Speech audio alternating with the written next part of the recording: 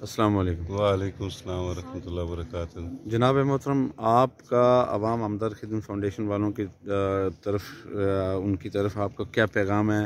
سردار بالخصوص سردار الیاس صاحب جو میں لہان اشکوٹ کی جانب سے سردار چیئرمین سردار الیاس صاحب امداد فاؤنڈیشن کا بہت بہت احسان ممنون ہوں کہ انہوں نے آج ادھر ہمارے گاؤں میں جو کیمپ لگایا بنیادی طور پر لوگوں کو اویئرنیس نہیں ہوتی۔ ایسے لوگ موجود ہوتے ہیں جن کو علاج کا پتہ ہی نہیں ہوتا تو وہ اس عظیم نعمت سے محروم ہو جاتے ہیں۔ تو میں اس رہنمائی پہ ان کا ان کی ٹیم کا انتہائی مشکور ہوں کہ انہوں نے آج اس پسماندہ علاقے کو یہ چیز بخشی۔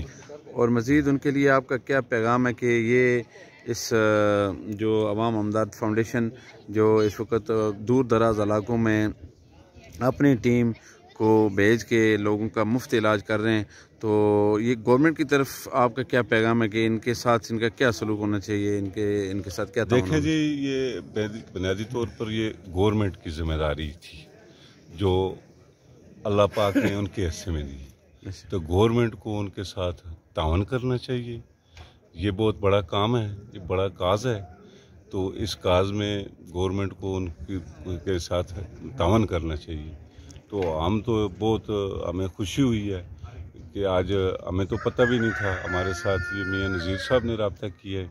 تو ہم نے ادھر یہ کیمپ کا جو ہے انتظامات کیا ہے۔ تو ہم اس کے امداد فاؤنڈیشن کی پوری ٹیم کے مشکور ہیں۔ میں گاؤں کی طرف سے ان کا شکریہ ادا کرتا ہوں کہ انہوں نے ہمارے گاؤں میں کیمپ لگائے بہت شکریہ جی تھینک یو مہربانی